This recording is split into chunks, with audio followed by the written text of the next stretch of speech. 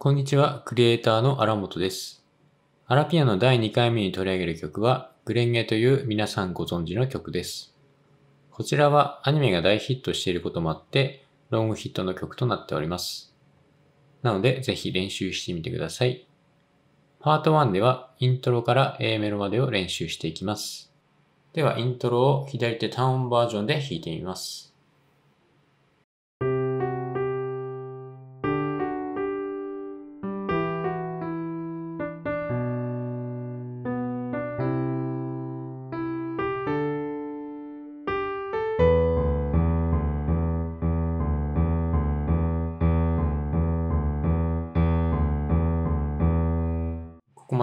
でがイントロです。でまず右手に関しては音域が非常に広いので、でまず小指のスタートのポジションからなるべく動かさずに、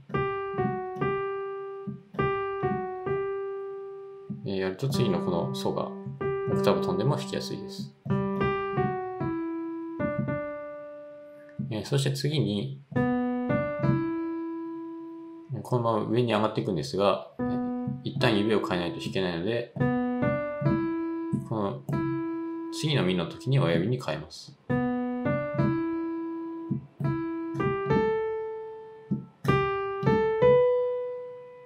そうすると最後までスムーズにいきます。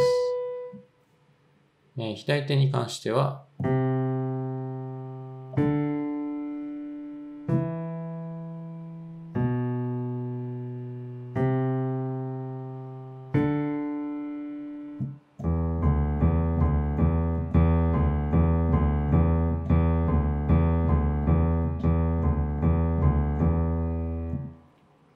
このギターのリフだけ気をつければ、あとは簡単かと思います。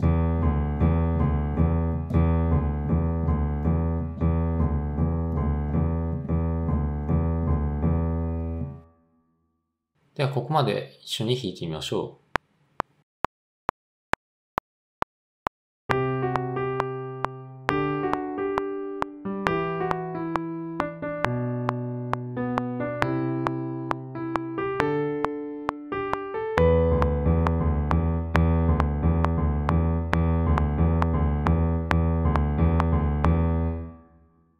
続いてレベルアップとして左手にリズムをつけたバージョンで弾いてみます。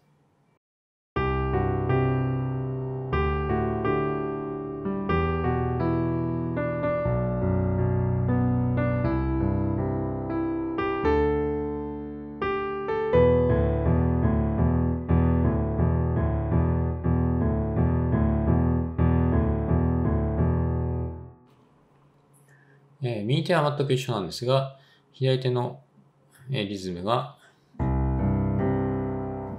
これは全く右手と一緒のタイミングで入ってきます。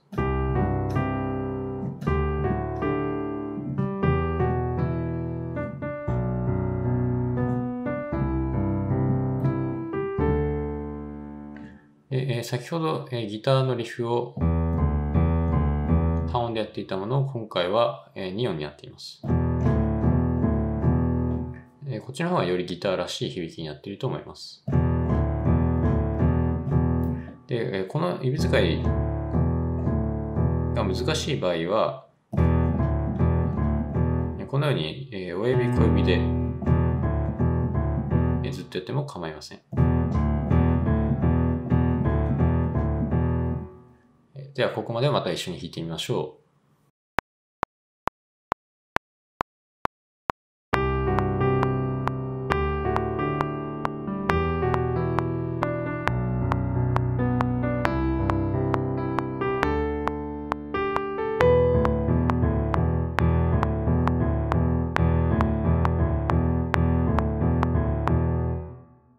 そして、さらに原曲に近いバージョンとして、右手に和音をつけたものを弾いてみます。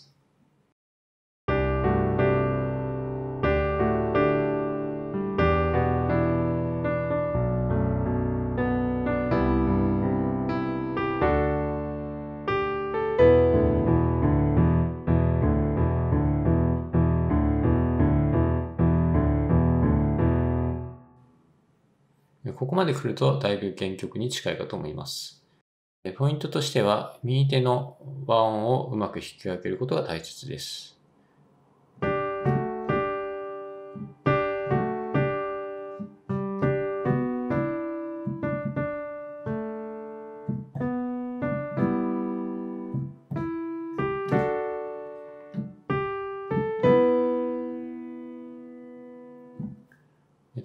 下に音があるんですが、えメインとしては、え上のこっちの音なので、えこっちの下の音よりは上を強く吹くようなイメージで弾いてみてください。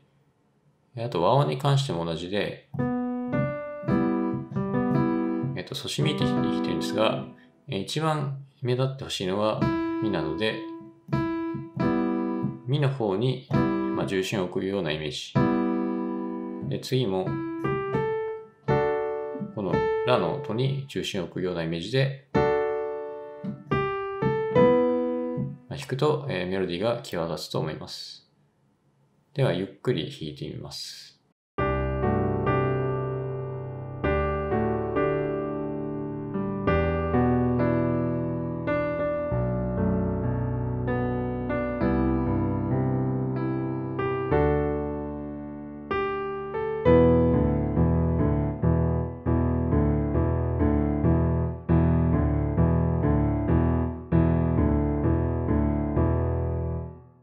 では、ここまで一緒にまた弾いてみましょう。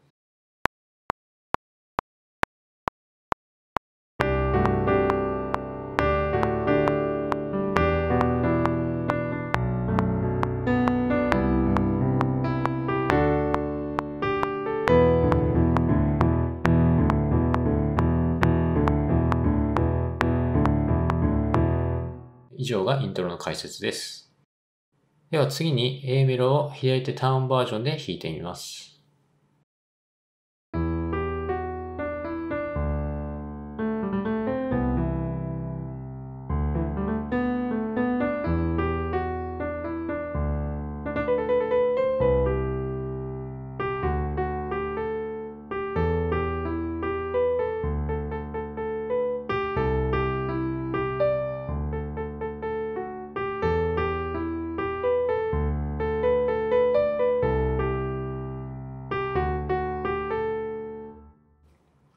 ここまでが A メロです。ポイントとしては、また右手の音域が広いのと、あとはリズムが結構難しいです。特に同音連打の部分です。ピアノの場合は、同じ指でこの連打をするのが結構難しいので、普通は指を変えてやります。なので今回は、親指、人差し指というふうにこのフレーズは書いています。で次に出てくるというフレーズは、え逆に人差し指、親指にしています。で練習のサインなんですが、えこれもえ力を抜いていないとえ連打しづらいので、まずはこの、えうまく置き換えるコツというのを、まあ、使うまでこのこれだけ練習するといいと思います。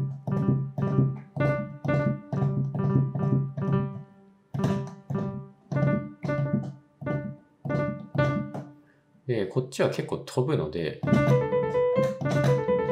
このスムーズな移動も結構重要になってきます。であと後半なんですが、えー、メインのメロディーの合間に、えー、裏メロみたいなのが入ってきます。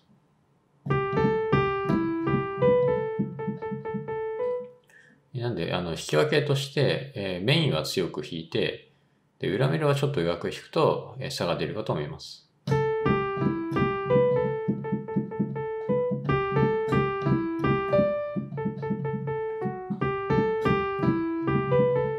みたいな感じです。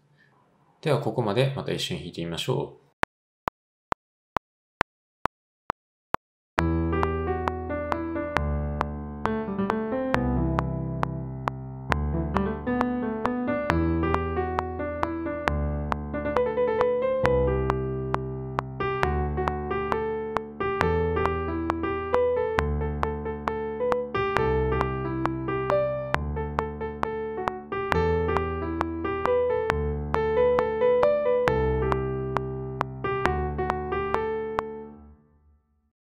続いてレベルアップとして左手をベースのように連打にしたバージョンで弾いてみます。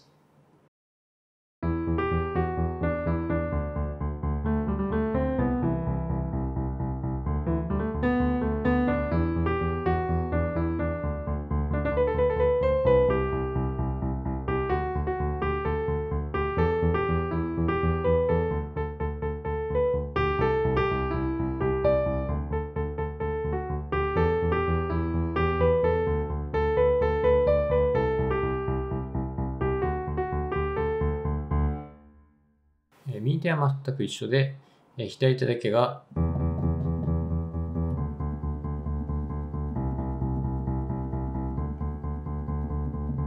というふうになっています。えー、ポイントとしては、えー、左手のリズムをちゃんとキープすることと、あとは先ほど、えー、連打では指を変えると話したんですが、え、このぐらいのテンポであれば同じ指でも大丈夫です。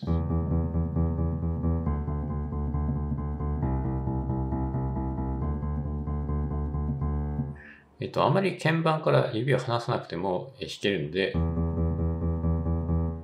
のちょうど戻ったぐらいで止めておくっていうのが、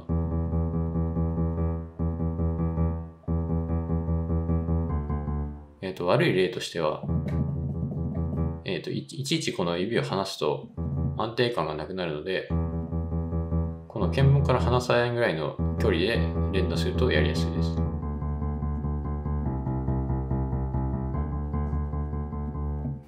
ではここまでまた一緒に弾いてみましょう。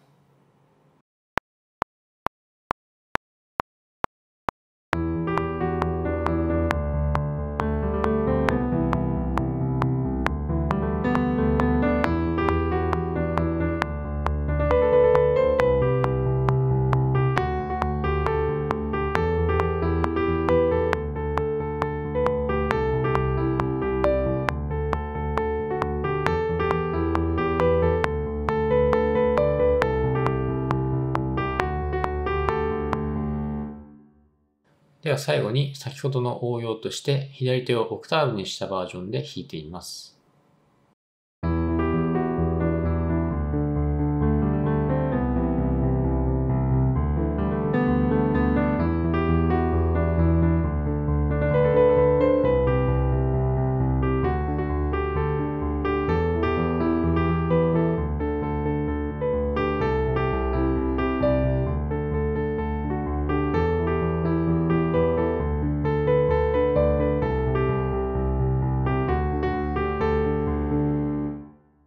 先ほどと違う点としては、同じ音で連打していたものを、このようにオクターブに分けて弾いています。そして、重心は小指側に行くように注意しながら弾いてみてください。逆だと、なんていうか、ノリが少し変わってしまうので、こっちは重く、こっちは軽めみたいな感じで弾いてみるといいです。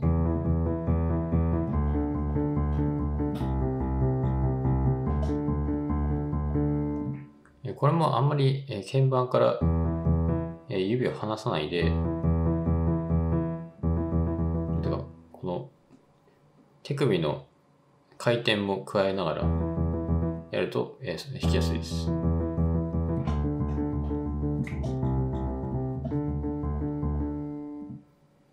では、ここまでまた一緒に弾いてみましょう。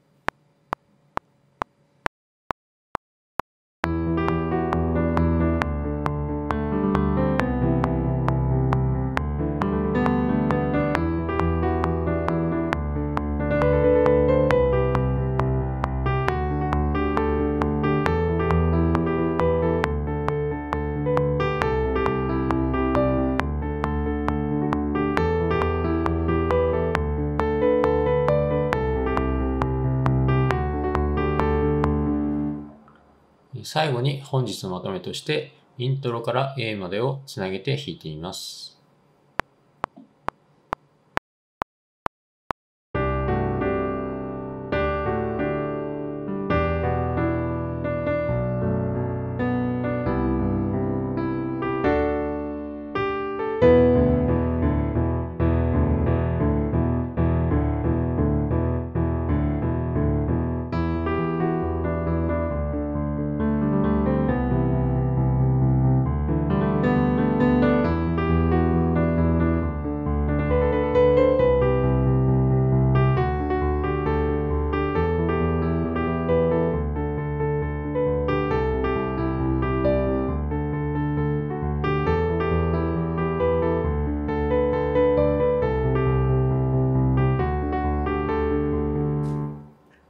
パート1は以上です。